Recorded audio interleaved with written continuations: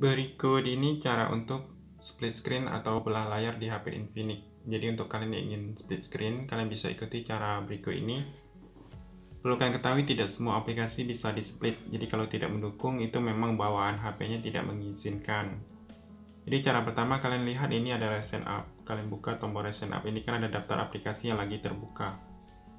Jadi untuk split screen kita lihat di sini, ini tombol untuk jendela mengambang. Kalau tombol split screen-nya ada di nama aplikasi kalian pilih. Nah, ini ada opsi bagi layar. Kemudian kalian pilih aplikasi selanjutnya.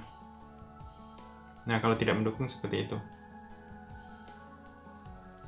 Di sini bagi layar, terus kalian bisa cari yang di sini juga.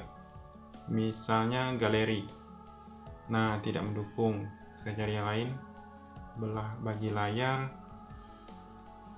Kemudian mungkin yang pengelola file. Nah ternyata banyak tidak mendukung kalau di ini. Di Infinix.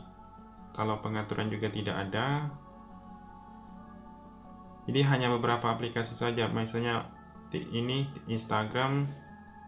Terus kita kombinasikan dengan Play Store. Nah baru bisa